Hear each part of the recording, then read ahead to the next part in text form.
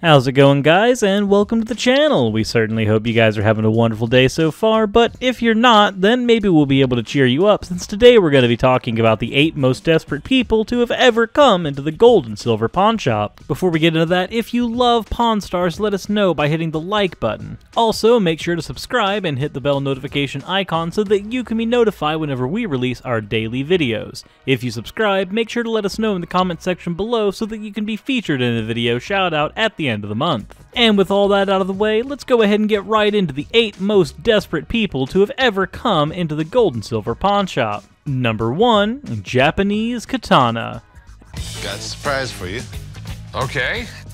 Over two years ago, I sent a samurai sword to Japan to get fully restored. Finally, it's back in the States. As it turns out, Rick from the show Pawn Stars is a huge fan of Japanese swords. When Rick finally got to get his hands on one of his favorite 1600 Japanese katanas, he set out to get it restored. After the two years that it took to get the sword properly restored, Rick was incredibly glad to finally have it back.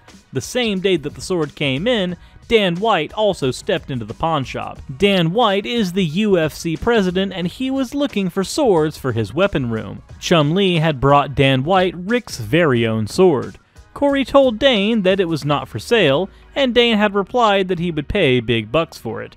Dane ended up paying $60,000 for it, along with giving some other swords. I guess when there's something that you want more than anything else, then you're willing to pay practically anything to get it. Rick must have not been very happy over any of this, especially considering that Chumlee is a bit of a problem on the Pawn Stars cast. He has been known to buy items that aren't worth a whole lot for quite a bit of money. At least in this situation, he was able to, at the very least, earn the store a lot of money, even if it was with someone else's own merchandise. You know what? That's a deal I can't refuse. All right, um, it's gonna take me a little while to package everything up. So, Okay. can you come back in a little while? Number 2. Gibson Guitar What do we got here?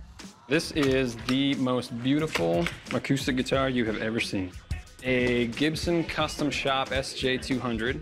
Oh. A man walked into the pawn shop to sell his US Open themed Gibson guitar. The man said that he did not want it since it was apparently hideous to look at. The man offered $5,000 for it, but Chumlee and him didn't see eye to eye. The seller asked if he could see an expert, but Chumlee had other plans and asked for $3,500. The guy honestly didn't care how much they would give him, so he took the offer, since he was so desperate to simply get rid of the ugly guitar. Honestly, though, if you're in a situation where you're so desperate to get rid of that guitar, why not just give it to me? I'll take it and sell it to the pawn shop and get $3,500. That would honestly catch me up on most of my bills. There's no need for you to have to take the time to do so. Just let literally anybody else do it. I mean, it's an ugly guitar you don't want, right? Anyways, Drop to 48. I, I really don't want to move for my price. All right, deal. Number 3. Comic Strip. A gentleman came into the pawn shop to sell his prized possession, his vintage Spider Man comic strip that was signed by John Romita and the famous Stan Lee himself.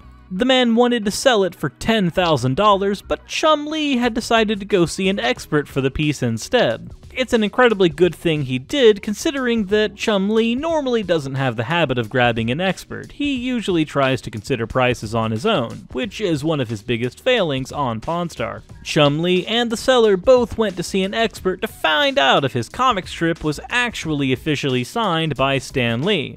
While waiting in line to see the expert, Chumlee had finally came to a deal with the seller of $5,000 after knowing that the expert was Stan Lee. The seller was desperate to get as much money out of the comic as he could, but he changed his mind when he saw Stan Lee himself. And honestly, we can't really blame him, considering that if you had something signed by a famous person, the best expert to determine whether or not you had that person's signature would be the person who wrote it himself. Number 4. Seiko TV Watch. A man had brought his favorite Seiko TV watch that he had only used twice when he was 10. He asked for $800 for it since it was from the 1980s and it was in great condition.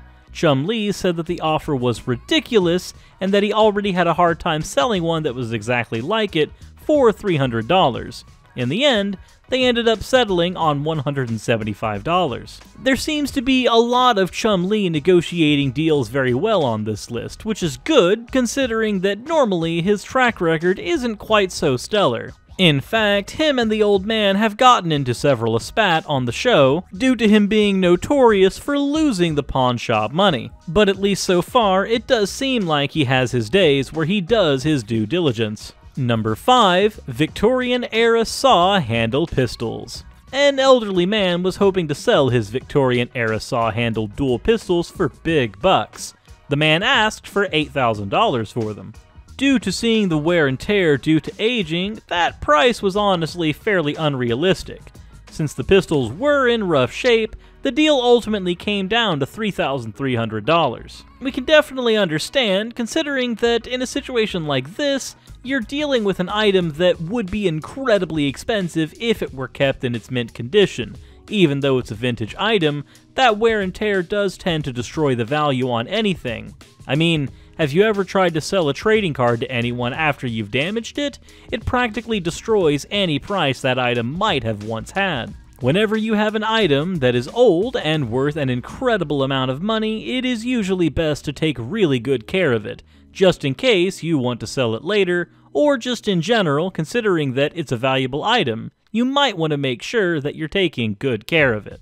Number 6. Dennis Rodman Jerseys one day, a woman came in selling Dennis's jerseys in the pawn shop to get money for her daughter's tuition.